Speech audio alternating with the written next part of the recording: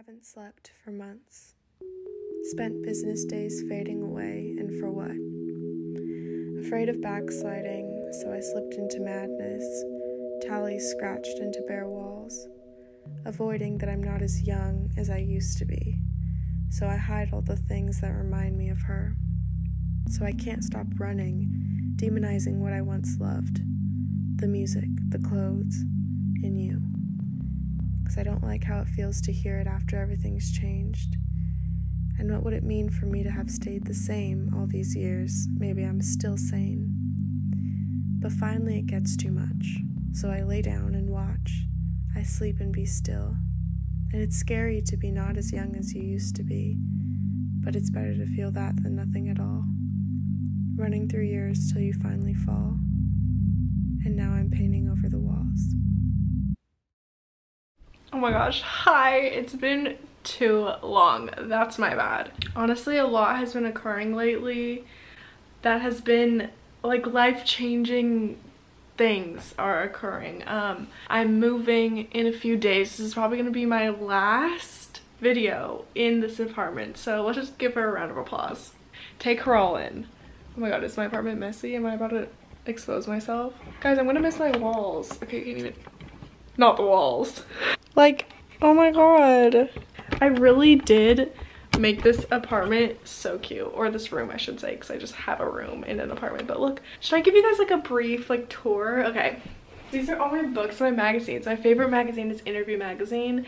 Uh, Andy Warhol made it in like the 80s. It's so good. Um, that's Kim Kardashian's butt. Um, below it I have some candles from Bath & Body Works because I'm Caucasian. There's also, there's a lot of Vogues. I don't really read the Vogues anymore, but I used to love them. I'm gonna collect them. There's a lot of books. Let me know if you want me to do a book haul or collection because I will. Um, and then on the walls just like letters from people. Uh, my mom, my brother, a stylist I worked for, who I'm gonna be neighbors with. Um, my my dad, yeah, and then my friend who uh, has given me a lot of letters. Anyway, so yeah, this is kind of like a farewell to my apartment. Um, I'm so grateful, honestly, that I got to live here for like over a year. Uh, this was the first place I lived in LA. And oh my god, I forgot about my records, guys. I will, okay, you can't see. You can't see them, but I will do a record haul if threatened. So yeah, lots of exciting things have been happening for me and it kind of made me want to talk about the idea of like resistance and fear after you get what you want. So basically your entire life and perspective is governed by your thoughts, right? You can choose to have fearful thoughts or you can choose to have thoughts that are based in faith and gratitude. And you know, it's it's extremely challenging to not choose the fearful thoughts when you're consistently working towards something that you don't have yet, right? You have fears of like, oh, will I ever get there? Will I, will everything work out? What's the worst case scenario? But at the end of the day, whatever you're thinking, whether it's that I don't want this to happen or that I do want this to happen, the thing that you're thinking about happening is what's gonna happen. Does that make sense? So like, for example, I just got approved for this apartment, which is like crazy because I just applied by myself and I could have had the thought of like I don't want to not get approved. I don't want to have nowhere to live. I don't want to have to find somewhere really quickly that I don't like. I don't want to have to live with other people. I don't want to have to move back home. And like all those thoughts even though I'm saying I don't want blank I'm still putting energy toward those thoughts. And therefore those thoughts are materializing in the world and so during this application process, all I thought about was, I love my apartment. I love living there. I love it. It's perfect. It's so beautiful. I love where it is. I love what it looks like.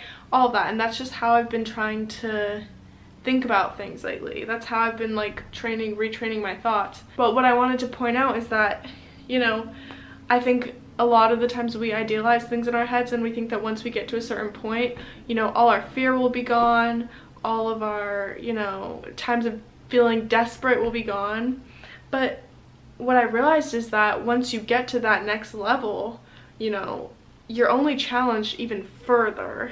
Your faith and your belief in God and yourself, you know, it's only challenged once you get to that next level that you've been wanting to be at. And I've really, really, really felt that, you know, because obviously once you get the thing you want, it's so exciting and you're celebrating and everything. But then as soon as that period is over, comes a whole new set of not problems, but things that your mind can view as problems and start attaching fear onto. And so you have to be very careful even after you succeed. It's like the moments after you succeed are just as pivotal as the moments leading up to it, you know.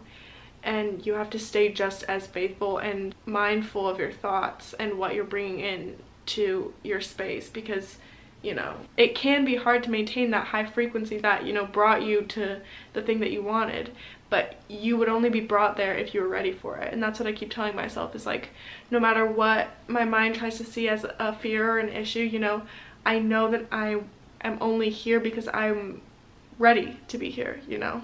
And like there's so many things that I am going to experience in the future that I haven't been ready for in the past, you know? And and really sometimes it can be frustrating because like you can get these visions from God or whatever you believe in and you get this vision of something and it's so clear. It is so clear.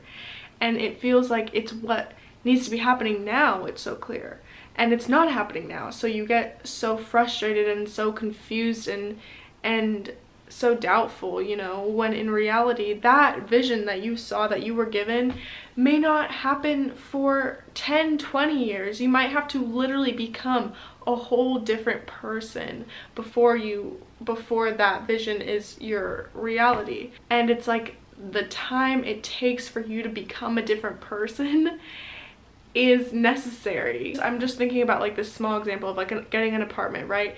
Me a year ago, I could not have even like the thought of doing this, what I'm preparing to do, and how much I'm investing, all this stuff, like the thought of it would have made me literally want to die. like there's just no way. But in the year, I've become such a different person, you know and challenged myself in so many ways and learned and integrated so many lessons that now I'm this version of myself that's ready to handle that. So that was only given to me because I was ready to handle it and able to hold the frequency, you know, not in a space where once I'm given the thing that I want, I'm so like, I can't handle it because it's so overwhelming, you know.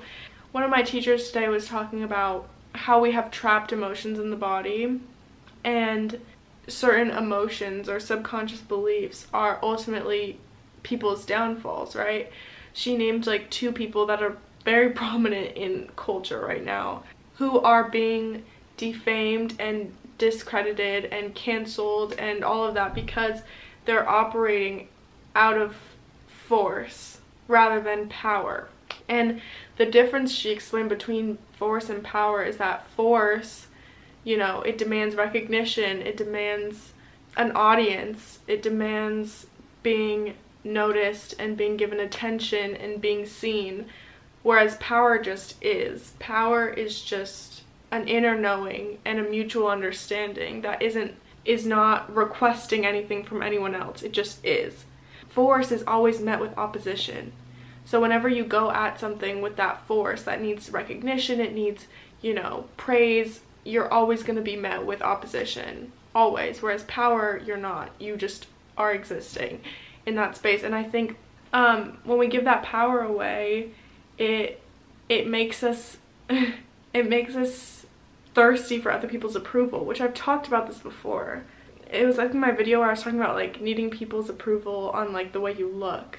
And it's like once you give up that power you your whole perception of reality is subjective to whoever's viewing you and whoever is speaking their version of you back at you, you know, that's what you just believe.